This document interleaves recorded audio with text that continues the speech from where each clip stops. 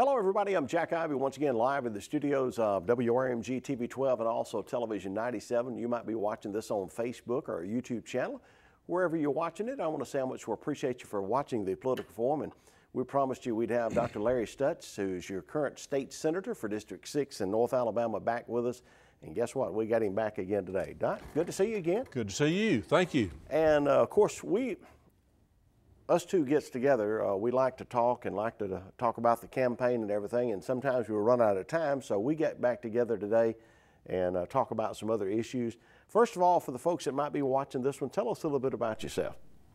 Well, I'm, I'm Larry Stutts, and I grew up in Cherokee in northwest Alabama and uh, was graduated from high school there in 1972, then went to Auburn University undergraduate and to veterinary school, Jackie and I met while we were in school there, and uh, we have been married for 38 years. And four years into our marriage, I went back to medical school. And so we lived in North Alabama. Then we moved to Mobile for four years while I attended medical school at the University of South Alabama. And then we moved to Birmingham for four years while I was in residency in Birmingham. And we have uh, four adult children and have five grandchildren. And I think I said we've been married 38 years. Sounds good. I'm sure I'm glad to have you back with us today. And of course, uh, I had to ask this question, even though I didn't bring it up on the first interview. All of this that he has told you here, we're talking about 22,000 patients later and 12,000 babies delivered. And uh, that's pretty awesome, isn't it? It is. I have really been blessed to be busy and to uh, have the opportunity to interact with a lot of families and in all sorts of situations, but primarily with uh, them having their family. And of course, I'm sure you uh, uh, run into people all the time and say, hey, uh, you deliver me back in so and so and all that stuff. So that's got to be that, some. That, it, that's very rewarding, but uh, you know, it's hard to recognize them when they're 20 years old as well. We appreciate you joining us once again on the Political Forum, and uh, we talked about several issues during our first interview. And I wanted to go back and let's talk about um, jobs in North Alabama or jobs in Alabama, and you've got a lot of business endorsements. What would make them want to endorse you? Uh, well, I have been proud in the last four years to support a very strong, low tax, pro business climate in the state. And that is so important in bringing jobs here. You know, when we compete with, uh, for the Mazda Toyota plant for those type of industries, we're competing with Tennessee, North Carolina, South Carolina, Georgia, and so Alabama has to have a competitive environment or we don't ever even get the first look, much less uh, land the, the plant. But having said that, the thing that you cannot forget is it makes headlines to land a Toyota Mazda plant but most of the jobs are still created by people that employ less than 50 people. The majority of the jobs are still in small business, and we don't want to get so wrapped up in recruiting major industry that we forget about the true backbone of the economy, and that's small business. And because I have supported that, I've been endorsed by the National Federation of Independent Business, by the Alabama Realtors Association, by the Alabama Retailers Association, by the Alabama Forestry Association, all of those groups that support small business, that support local communities, that encourage uh, small business development and want small businesses to thrive. I've been endorsed by all of them, and I, I have a 100% voting record with the National Federation of Independent Business. Sounds good. Dr. Larry Stutts, our special guest here on the Political Forum today, and of course, we're talking about jobs and, you know, small businesses um, is the makeup of all of the little smaller towns, and we've seen a lot of these smaller businesses go away over the last several years. And uh, anything we can do to kind of keep these smaller towns thriving is uh, trying to get folks to shop at home. You know, a lot of these local businesses, they, they go out on the limb to open up a local business. And, and then the folks at home won't shop with them. They're still going out of town. What can well, we do to maybe try to get folks to well, shop at home? Uh, e even more than going out of town to shop is shopping online. Right, yes, sir. And so we have passed legislation for uh, internet taxes because it's totally, I'm not in favor of raising taxes, but it's totally unfair for the local business to have to collect sales tax and the uh, internet salespeople not to have to collect the sales tax because that hurts not only the tax revenue for the local community, but it hurts the local business because you can go to a local store and pick out the style and the size and everything of the shoe that you want to buy and then order it online and you right off the top you're getting a 9 or a 10% discount Right. because you don't pay the sales tax. And, and so leveling that playing field is so important for the local businesses that have to have brick and mortar that are part of the community. And uh, uh, I 100% support shopping locally, uh, supporting local businesses. They're, they're the backbone of the communities that we all live in. collecting the local taxes, say from online sales, uh, let's say that I'm ordering something in Cherokee, Alabama, online. Uh, when y'all collect that tax for Alabama or whoever, does that come back to that local It community? does. So, so if you buy something online at a three five five eight two zip code, that money will come back to that zip code. That's that's that's, that is- awesome. That's so. correct. That's the way the law was set up. You know, a lot of folks uh, don't know it, but you've been endorsed by the National Rifle Association and also the National Association of Gun Rights, and uh, that's a pretty big endorsement, isn't it? It is. That's a, that's a, a huge endorsement, both of them. And you know, I unequivocally support our Second Amendment rights. Uh, I, I think that uh, it is a constitutional right. Period. Uh, and even though I know some the sheriffs would probably not agree with that, uh, I honestly don't think you ought to have to buy a permit. Uh, there's no other constitution. You don't have to buy a permit to vote. You don't have to buy a permit to have free speech.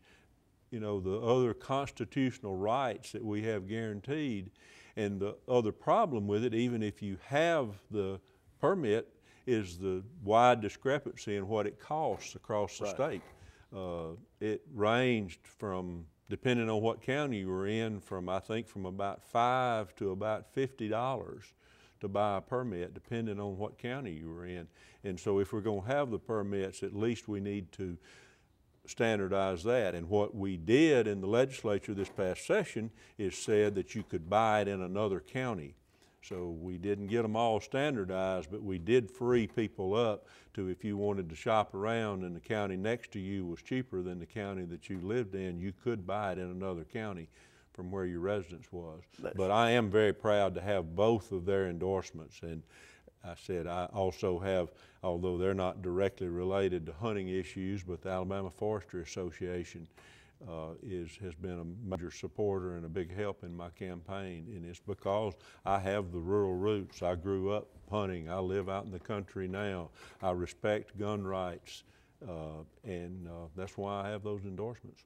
Dr. Larry Stutts, our special guest. Don't forget, November 6th, it is upon us. And uh, of course, you need to make your plans now uh, to get to the polls. I'm sure if you don't have a ride, if you'll call your friend, neighbor, somebody will get them to the polls. Uh, Retirement Systems of Alabama, RSA. A lot of folks are interested in that. And of course, with the economy doing so well, uh, how has that helped as far as uh, the retirement system? Uh, it has helped the retirement system because the economy has improved. Uh, year before last, we had a bipartisan joint legislative committee that uh, was made up of Democrats, Republicans, House members, and Senate members. And I was one of the Senate members on that committee. And we spent, uh, we actually met five times between legislative sessions to try to look at issues with RSA. And there has been a lot of false information about what the intent of those meetings were. And I said, I attended the meetings, I was on the committee. I never heard one person ever say anything about trying to take anybody's retirement away. And I know that rumor keeps getting propagated by uh, people that want to attack what the real issue of that committee was. And that was to try to make sure that RSA was stable for the long term, that it was stable for the future. Uh, because there are some fundamental problems and everybody wants to look at the surface and do you support Dr. Bronner? Well, absolutely. He's done a wonderful job, but he's also almost 70 years old and he's not going to be in that position forever. And so you have to look at the long-term issues. If we're going to hire people today and promise them a defined benefit plan 25 or 30 years from now, you've got to make sure that that money is going to be there. And that's the whole intent of it. Because the fact is, the state subsidizes RSA. The first year I was in the legislature, we put $920 million into RSA from state funding. Right. This past year, we put 1.12 billion in RSA from state funding. And the problem there is if you look at the numbers that, uh, that RSA has to have to pay the benefits that are promised, they need about 50 billion in assets and they need to earn about an 8% return on those assets. Currently, they have 34 billion in assets, and for the last 13 years, they have averaged 6.3% return. So that 16 billion difference in assets and that 1.7% difference in return, and the state makes up the difference, and that's where that 900 million to a billion dollars comes in that goes to RSA every year to make up that difference. I asked you during your our first interview with Dr. Stutts, you know, why should I vote for you? I'm going to ask it a little bit different way. What sets you aside from your opponent, Mr. Morrow? Uh, what would, what would be the difference between well, you? I, I know that we don't agree on, on several issues, uh, like like the lottery, uh, for one. I know that we're on opposite sides of that issue, and I have strong reasons of why I believe what I believe. But you know, the number one thing probably that sets us apart right now is that uh, I'm not a career politician. Uh, I think our founding fathers intended citizen legislators. I think our founding fathers intended for people to go as public service, go represent their district, go represent their constituents, and then go back home and do their job. And I've served one term and he served seven.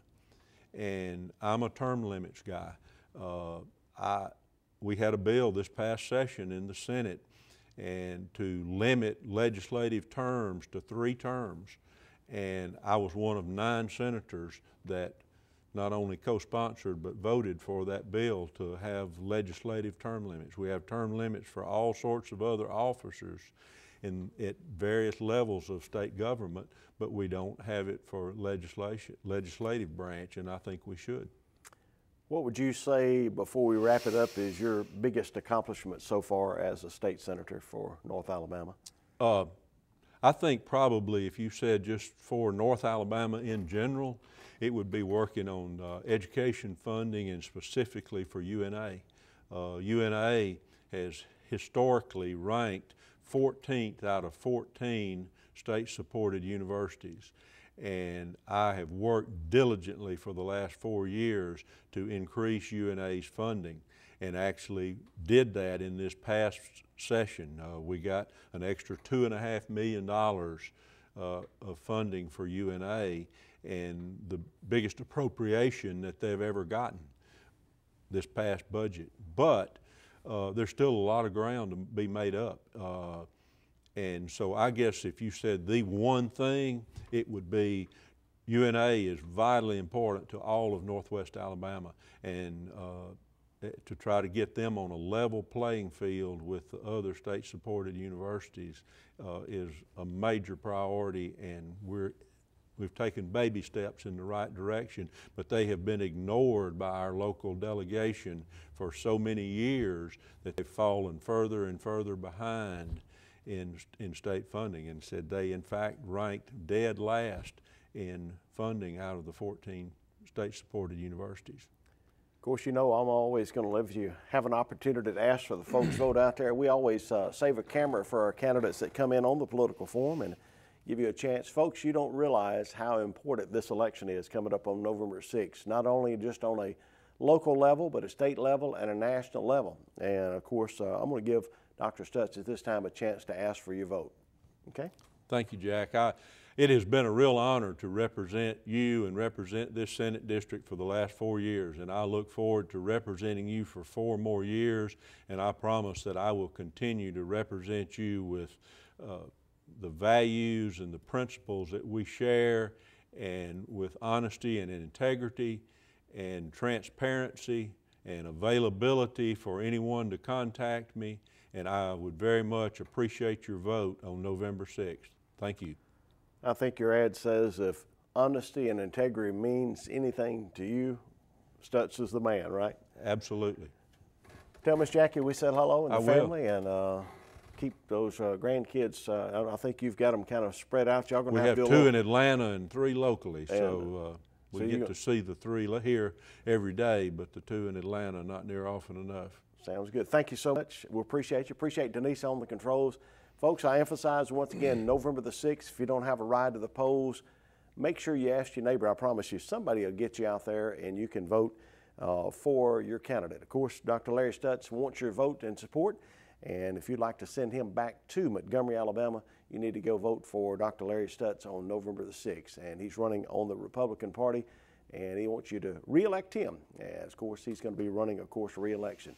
For Denisa, once again, Dr. Larry Stutts, our special guest. I'm Jack saying thank you for joining us, and we'll see you next time right here on the Political Forum.